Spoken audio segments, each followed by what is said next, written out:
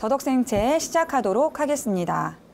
더덕은 흙이 묻어져 있는 채로 나오기 때문에 깨끗하게 씻어 준비하도록 하겠습니다.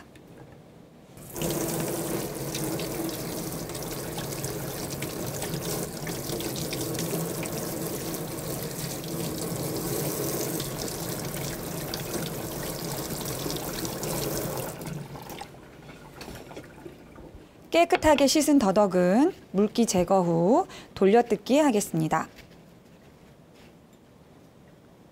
위에 부분을 제거 후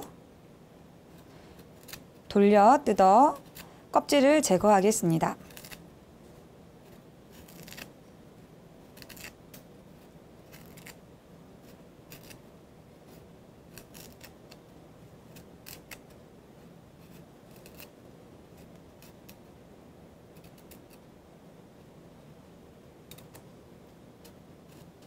시험장에서 더덕은 두 개가 나오기 때문에 전량 제출을 하셔야 하므로 두 개를 전부 깨끗하게 손질 후 사용하도록 하겠습니다. 더덕은 5cm로 정리 후 얇으면 2등분, 크면 3등분 정도로 등분하여 물에 소금을 약간 넣고 쓴맛을 제거하도록 하겠습니다.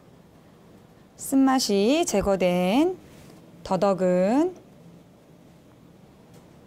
면포 위에 올려놓은 후 밀대로 밀거나 두들겨 부드럽게 만든 후 찢어지도록 하겠습니다. 더덕은 도라지 생채나 무생채처럼 칼로 채를 썰 수 없기 때문에 반드시 찢어서 준비하도록 하겠습니다.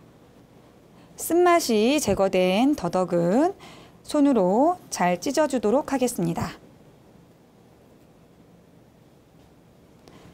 손으로 잘 안 찢어지는 경우에는 이쑤시개를 사용하여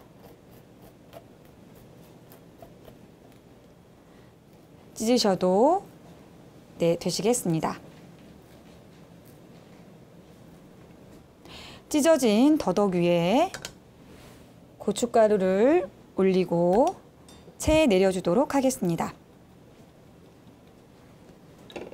체에 내린 도덕은 손으로 조물조물하여 준비하도록 하겠습니다.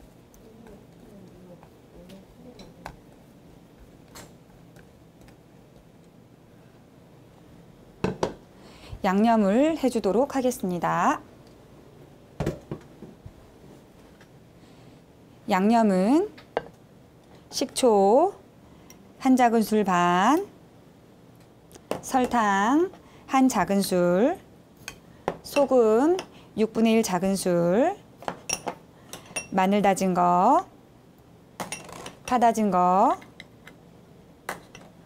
깨소금 약간을 넣으시고 잘 섞어서 준비하도록 하겠습니다. 고춧가루에 잘 버무려진 더덕 위에 잘 섞어 놓은 양념을 넣고 손으로 조물조물 버무리도록 하겠습니다.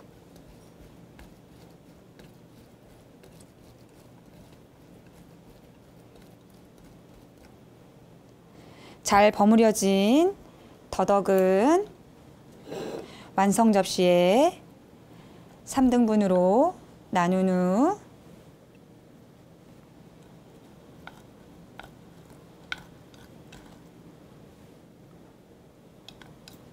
수복하게 담아주도록 하겠습니다.